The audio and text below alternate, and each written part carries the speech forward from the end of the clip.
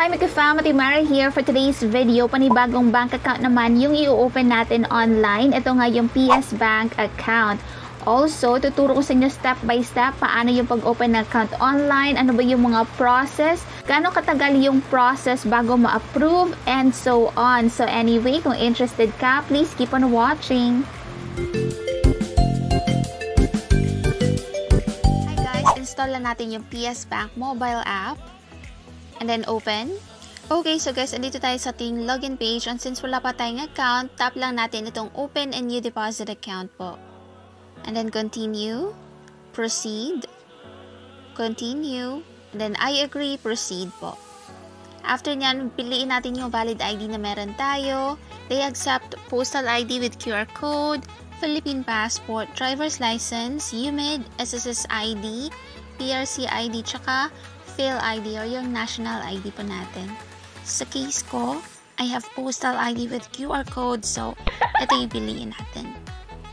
Allow. Lagay lang natin dito yung front po ng ating ID guys. And then tap lang natin itong camera button po sa baba. So guys, kung sure ka na, use this photo lang. Pero kung hindi, pwede mo namang i-retake po ito. Use this photo and then nasa personal info na po tayo. Lagay natin dito yung name natin, birth date, birthplace, mobile number, email, and yan. No na lahat agad dyan sa questions na yan.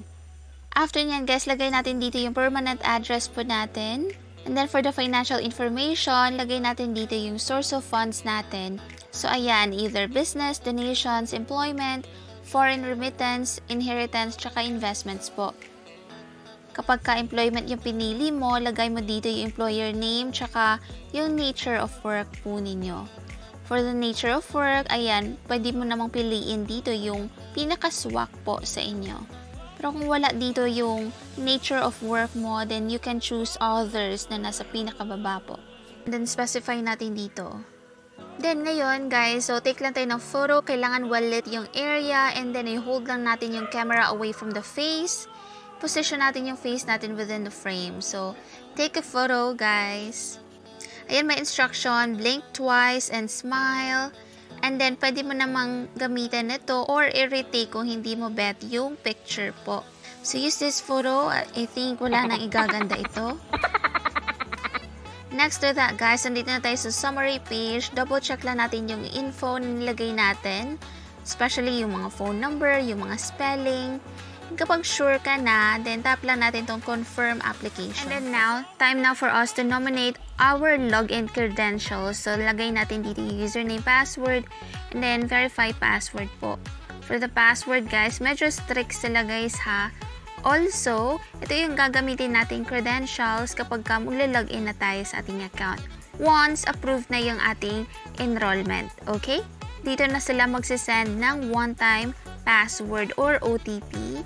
Alright, so guys, after nyan, pwede na tayo makapag-request ng ATM card. Pwede natin ipa-deliver sa ating mailing address.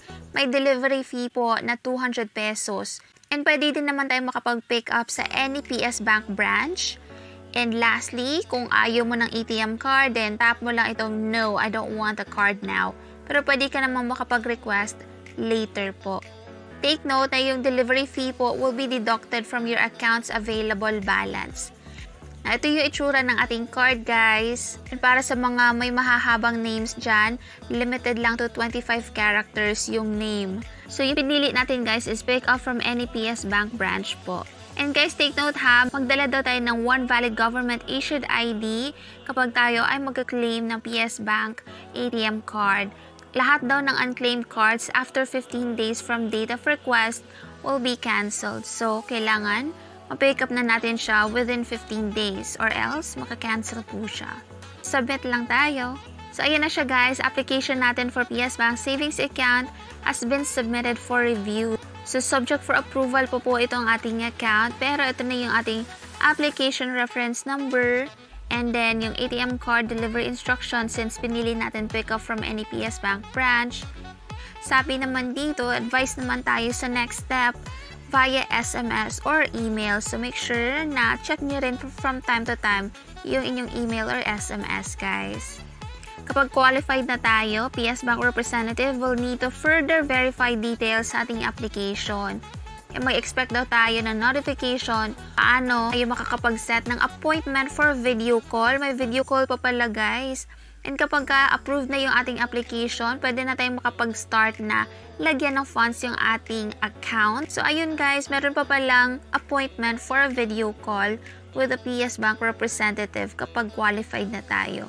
So, yun lang yung medyo, ah, napaka-hassle naman. Anyway guys, exit lang tayo.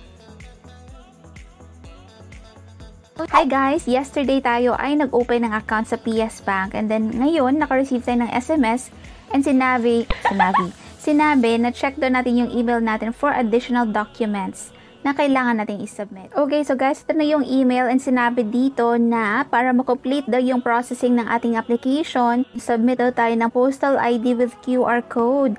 Ito yung ID na ginamit natin kahapon nung tayo ay nag-apply. And guys, take note po natin itong account opening application number po kasi kailangan siya para makapag-upload po tayo. So guys, sa ating browser, punta lang tayo sa psbank.com.ph or tap lang natin yung link na kanina. Punta tayo sa upper left side and then dito sa baba, yung document upload. Online account open and document upload. So, dito, for the reference number, ito yung ating online account application number na sobrang haba.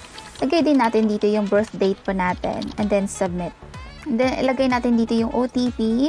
Then after niyan guys, upload doon natin yung postal ID natin with QR code kasi nga yun yung nasa email as well, 'di ba? So upload lang tayo files. So guys, nagkaroon ako ng problem sa pag-upload ng photo kasi yung ina-accept lang ni PS Bank ay below 2 MB. Guys, take note, no March 14, hindi ko po tinapos yung process kasi nga more than 2 MB yung photo. Pero, ginawa ko siya ulit March 21 na po and ito na yung nangyari. So, guys, your documents are now submitted for review. Ito ulit yung reference number. Same lang din itong reference number na sinend via email. Hi guys, today is March 22 and exactly the next day after tayong mag-upload ng ating ID, naka-receive tayo ng SMS and sinabi dito na for us to proceed daw, kailangan tayong makapag-schedule ng video call via this link. Mapoproceed tayo dito sa PS Bank So, tap natin tong send OTP. Enter natin yung OTP dito. And then after nyan guys, pwede na tayong pumili ng date and time of video calls. Siyempre, kung kailan ka free or available for a video call. So, pwede tayong makapili from Friday, March 25th up until March 31. Piliin ko na lang yung Friday, siguro mga 10.45 a.m. Proceed. Then, kung sure ka na guys, then submit lang tayo. Pero kung hindi ka sure sa time na yan, pwede mo namang i-edit yung schedule around 15 minutes po yung magiging video call. So, submit lang natin yan. And there you have it guys. Expect lang tayo ng email or SMS for the full details and further instructions ng confirmed video call appointment. But don't worry, I will be showing you that naman. So ito, naka-receive na tayo ng SMS from PS Bank. So check natin yung ating email and okay, so ito na yung confirmation ng ating video call appointment on Friday 10.30 a.m. And video call facility is WebEx. So, never pa ako nakapag-try ng WebEx, guys. Hi guys, I'm back for an update. March 24, naka-receive po tayo ng WebEx meeting invitation. It looks like this. And dito sa baba, all you have to do is to tap yes kung gusto mong i-confirm yung meeting po. Take note of the time guys, that's 10.30 to 10.45 pero sa case ko, 5 minutes lang tapos na po yung video call. So, punta tayo sa baba. And as per previous video, March 25 yung ating schedule and then 10.30 ng umaga. So, today is March 25 and all you have to do guys is to tap join meeting. Pwede din naman dito from the meeting link. Pwede din naman by number.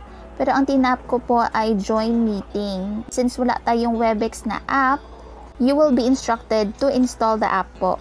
So after nyan, you have to enter your full name. Hiningi rin po yung meeting password. Kapag kahihingiin yun, ito lang yung kakopy natin tapos i-paste natin doon. After nyan, doon na yung representative ni PS Bank. First namin ginawa, nag-selfie with a valid ID. So, siya yung magtitake ng picture. All you have to do, look at the camera, tapos hawakan niyo po yung valid ID. Next, pinapaspell yung full name, first name, middle name, at saka last name Then, tinanong din yung birthday, place of birth, and bakit tayo nag-open ng account. For the sources of funds, syempre, inform mo lang din, let's say if you're employed, and so on. After nan guys, nagbigay lang siya ng konting info about the account. Good news guys, kasi itong account na ginawa natin online ay walang maintaining balance required. If you want to earn interest, kailangan meron kang at least 5,000 pesos na ADB. Once approved, within 90 days, kailangan makapag-cash in na po tayo or else, makaklose po yung account. And a while ago, pinakita ko po sa inyo na card pick up po to any PS Bank branch yung pinili ko. And so, kapag ka-approve na tayo, pwede na natin maklaim yung ating card within 2 to 3 banking days after approval po. March 25, tayo ay nag-video call at 10.30 a.m. And at exactly 12.30 p.m. po guys, that's exactly 2 hours after nating mag-video call, naka-receive na tayo ng SMS saying na approved na po yung ating online account opening. Naka-receive na rin tayo ng email. And nakapag-login na rin tayo sa ating PS Bank online app. And there you have it guys, meron tayong PS Bank account. Masasabi ko ha, yung online account application nila ay medyo matagal. Medyo madami yung process, tapos may video call pa. Now guys, if you want to open a PS Bank account online, expect nyo na na hindi po siya one day process only or hindi po siya short lang na process. Anyway guys, sana nakatulong sa inyo ang video na to. If you have any questions, feel free to comment down below. Thank you so much for watching. See you next time. Bye for now.